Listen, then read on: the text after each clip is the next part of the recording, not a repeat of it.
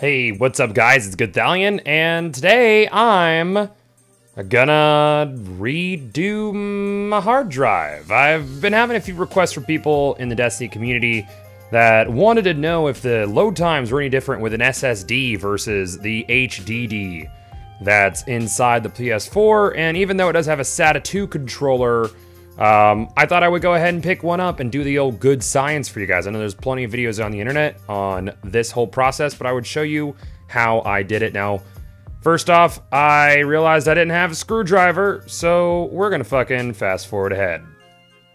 So this process is relatively painless. Uh, you just wanna take off the first little screw that is covering up um, the uh, attachment that lets you pull out the hard drive, and it actually slides out super easy. This process is actually quite a bit of a pain in the ass on the Xbox One, but it is doable, but you have to take the whole system apart. Uh, the next thing up is there will be four screws that are attaching the previous hard drive to the metal housing. So you wanna take those four screws out and they all come out pretty easy. After that, you wanna put in your new hard drive uh, the same way that the old hard drive was in. Pay attention to the way that the casing, the casing was facing and um, then uh, re-screw in the other screws. Don't do them too snug. They don't need to be absolutely tight.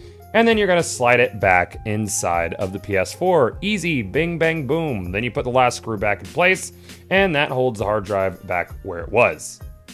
All right, so that's actually the easy part. Uh, what a lot of people don't realize is you actually have to have a piece of software that I'm actually going to link you to in uh, the section below, the description section below the video. And you will go there and you will actually download a file and you need a USB stick. So basically you get this file from the link it's uh, PlayStation.com slash en-us, whatever. It's in the description. Um, you put that in to the PS4 uh, um, inside a USB slot. You also are going to want to have your PS4 controller um, attached to uh, the PS4 with a USB drive as well. And then you're gonna wanna hold down the power button on the PS4 for seven seconds until it beeps twice, and then you're gonna get a screen that looks like the one we're on right now.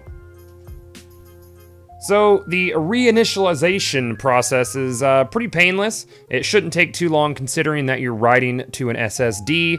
And once you finish this, it will boot you up as if you're doing a fresh uh, boot up on the PS4 itself, and then you have to re-enter your um, your user ID, get your account re reestablished. If you have Destiny characters already, it will not erase the characters. Your your characters will be fine. You don't need to worry about that.